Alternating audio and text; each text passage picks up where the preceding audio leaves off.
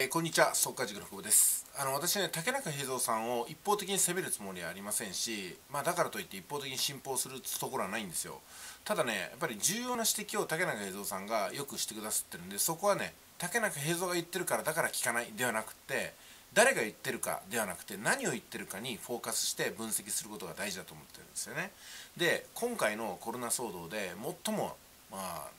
どうしようもないなと思ってるのは、各都道府県知事なんですよ。各都道府県知事の力の差がありすぎるんですよ。で残念ながらメディアに取り上げられる人ほど全く分かってないちんぷんかんぷんなことをして自分の権限を全く使わずに責任を国に押し付けることばかりやってるんですよ。顕著なのが大阪の吉村府知事ですよね。どうしようもない人だと思いますこの人は。テレビに出てる回数に応じてどんどんどんどんそのま何て言いますかね。何もやってないぶりというのかな。それが露呈してると思います。でまあ若い方なんでねちょっと自分の力が及ばないのかもしれませんけどもでもこういう人はね府民が選んでるってところに最も疑問を感じざるを得ないかなと思います。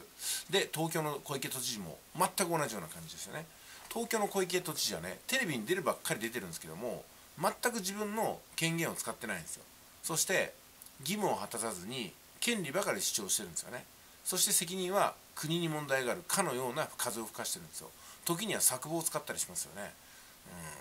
うん。なんかねこの辺がですね見せ方が上手なのかそれとも国民のムチぶりを利用しているのかってところで非常に姑息なものを感じます。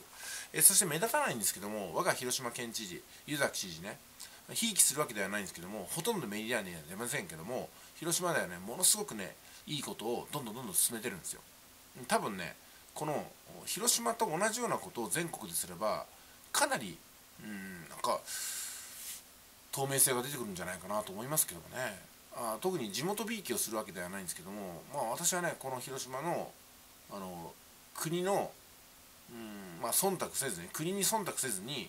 独自の権限を発動してるこの辺はねなんかいいんじゃないかなと思いますよね。もちろん行き届いてないところもありますんでそこを見ると不満ばかりになりますけどもよく統治されてるんじゃないかなと思いますね。あとね全くメディアに出てこない、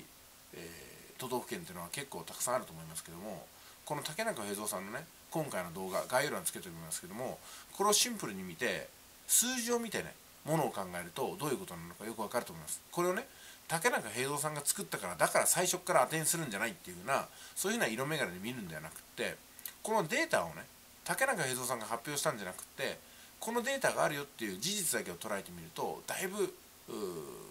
まあ見えてくるんじゃないかなと思いますけどね。